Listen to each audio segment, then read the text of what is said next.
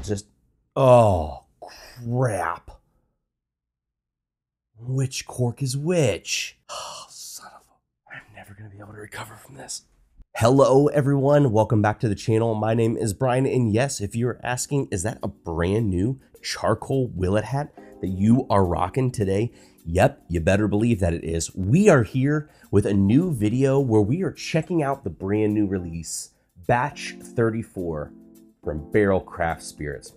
Much like Barrel 33 that came before it, this is distilled in Kentucky, Indiana, and Tennessee. It has a six year old age statement, but we know that it has barrels that go up to 15 years old, with I think a majority of them being eight years old. 114.62 proof. Start with an eight year high corn bourbon and then added high rye barrels and then mixing it with uh, 10, 15 year old stuff too to get what we have here. Now, go check out my video of Barrell 33. Lots of people, really, really big fans of this one. I was fine on it. Um, I thought it was kind of, it had some nice flavors to it, but maybe kind of a, a interesting marriage between uh, kind of youthfulness and um, uh, not. So uh, it was interesting. Now, again, like I mentioned in my batch 33 video, if you are one of those people who say, I can't trust anyone who gets whiskey given to them for free, they're just doing it exchange for something, then go ahead, turn off this video. I got plenty of other things for you all to watch. Barrell, thank you so much though for sending me this bottle. No obligation to make a video, no obligation to put any content out there. I mean, you probably assume people are going to do that anyway. But again, no strings attached. They have not seen this video prior to me doing this, but thanks for allowing me to try this product anyway. With that out of the way, let's go on and let's get right on into batch 34. Mmm, pleasant there. I spilled it. Crap. Before we dive into 34, jump down below, give me a thumbs up, subscribe to the channel if you haven't helped me grow the channel here in 2023. Make my microphone smell like barrel. Mmm, that is a very interesting nose. Maybe just my fatness is showing through, but it's easy to relate to things in food. And so this kind of reminds me of Girl Scout cookies. Both the trefoils, do people call them those anymore? Do they have a different name? Leave me a message down below. Let me know what they're actually called. But the shortbread ones, and the Samoas, do we call them that anymore either? I don't even know what we call them anymore. The shortbread ones and the ones that are caramel and chocolate and toasted coconut. That's in here for sure. Vanilla pudding pop. Caramel. I already mentioned that the caramel toasted coconut milk chocolate, but then it's got honestly, and I've tried opening this, pouring some out, letting it sit. It's got a heat in there. Oh well.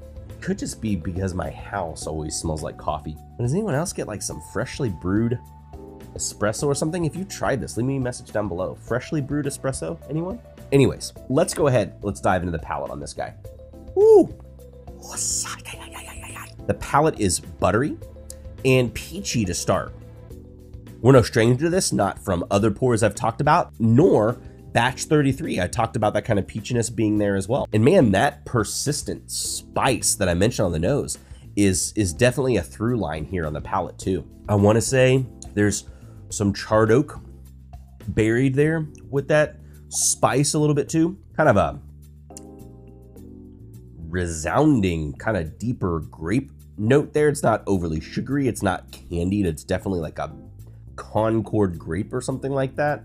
It's doused with uh, orange oil, like a like like a over expressed rim of an old fashioned, some cinnamon, just tingling around there.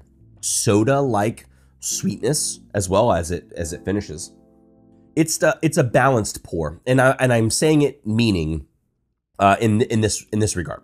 It has some depth to prevent it from feeling too youthful like uh, it doesn't taste as young as it's age dated compared to maybe other people who put out six year age dated products, five year age dated products, seven year age dated products. They're all the characteristics that you should find in a younger whiskey, But generally, in a younger whiskey, those notes kind of fail you. They left, they leave you a little uh, two dimensional. They don't have the depth. They don't have uh, something to fill it out. It just kind of left kind of dry and maybe missing something. Maybe uh, lacking in dimension, maybe just kind of hot. And maybe it's the older barrels in here. I don't know because I don't do blending for whiskey. But it helps bring some balance while remaining in the flavor pocket of what a consumer might look for in a six year, five year kind of bourbon. So, someone who likes the kind of snappier flavors that might come from a five to seven year old whiskey, but uh, kind of getting into a whiskey that's teetering into those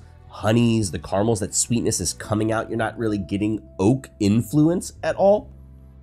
This uh, batch 34 kind of does that, and in a lot of ways, better than the batch 33 does. Quickly comparing it here to batch 33. Batch 33 is richer, kind of kind of citrus and brown sugar, where the nose on 34 is maybe a bit softer. It's slightly floral, not quite Four Roses territory, but a little bit floral, more so with a little bit of water to it. It's a little bit more elegant, maybe a little bit more balanced in how it presents itself. But I will say, if you're not usually one who adds a little bit of water to it, you definitely might want to do it with this batch 34 if you're to try it because again, it makes it a little bit more delicate. It makes it a little bit more easier to handle. It definitely tames down that spice note that I picked up. It picks up this kind of minerality to it, a little bit floral, like I mentioned already, not quite to the extent of Four Roses, but it's a very different bouquet. It's a little, it's a little bit different of an experience. It shakes off the breadiness that 33 has, but it does miss some of the the richness that 33 has. I don't really know what to say about this. Um, I could see people going either way. I could see some people saying that they prefer this batch more than 33, which is interesting because a lot of the media was saying that batch 33 is the best batch they've had in a long time. I think it really comes down to the type of flavor profile that you're looking for. You like nuanced, delicate flavors, um, maybe something to be a little bit interesting. Uh, batch 34 is going to be for you. If you wanted to be a little bit bold, you don't necessarily mind that it's, um, you know, not necessarily the the most put together uh, product, then I think 34 will be for you. But I want to hear from you all. Let me know what you all think. If you've tried batch 33, if you've tried batch 34, let me know what your all's thoughts have been on them down in the comments below. I'd love to continue to interact with you all on this. Thanks so much for tuning into another video, guys. Let me know if there's other things you want to hear me talk about in upcoming videos on the channel. And until next time, we'll see you all later.